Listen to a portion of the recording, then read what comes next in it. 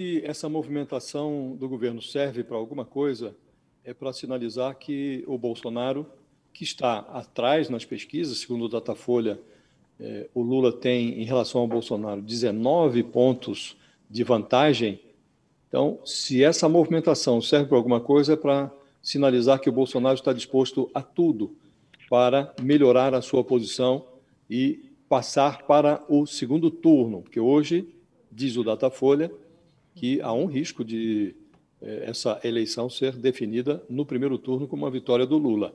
Então, eles transformaram uma proposta de emenda constitucional que tinha o objetivo inicial de compensar estados que se dispusessem a zerar os tributos sobre combustíveis, eles converteram esta eh, proposta de emenda constitucional num, numa emenda ônibus, na qual cabe tudo eh, que seja favorável, que estabeleça ou que crie um ambiente favorável à recuperação do Bolsonaro nas pesquisas. Então, estão aumentando aí o, o Auxílio Brasil de 400 para 600 reais, criando esse, esse Vale Caminhoneiro, esse Bolsa Caminhoneiro de mil reais, dobrando o Vale Gás.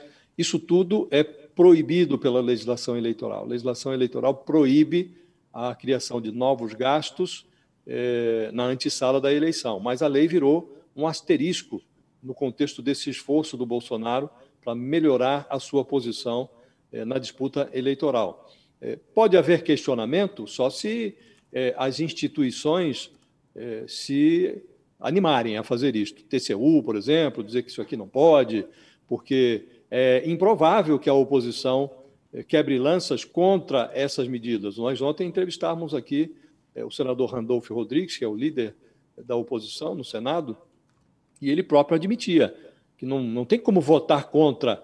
É, você considera a situação que vive hoje o brasileiro: tem 33 milhões de pessoas passando fome.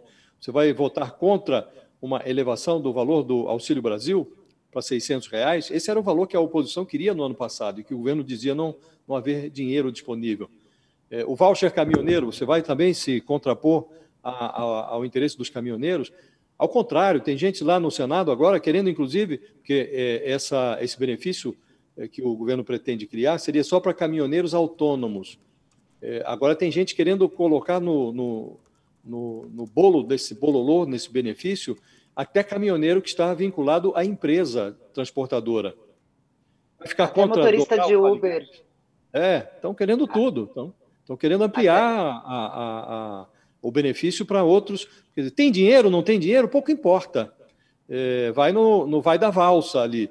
Então, nós entramos nesse vale tudo. É, evidentemente que, se formos analisar ali é, do ponto de vista social, tudo isso é necessário, é, tudo isso é defensável. Ocorre que não há dinheiro, é, a lei proíbe, e está se montando uma bomba fiscal que vai explodir no colo do próximo presidente, se não antes. É disso que nós estamos falando. Então é preciso analisar tudo isso com certa responsabilidade, mas não há responsabilidade que sobreviva ao interesse eleitoral. Isso é o que nós estamos verificando. Então a chance disso ser aprovado é muito grande. E os problemas todos que é, esse tipo de medida populista eleitoreira provoca, nós vamos ter que lidar mais adiante. Todo esse dinheiro está transitando ali num, é, numa sobreloja, num num segundo andar que foi criado em cima do teto de gastos. Então, estamos contratando um problema que vai ser resolvido mais à frente. Vai explodir no colo do próximo presidente, seja ele quem for.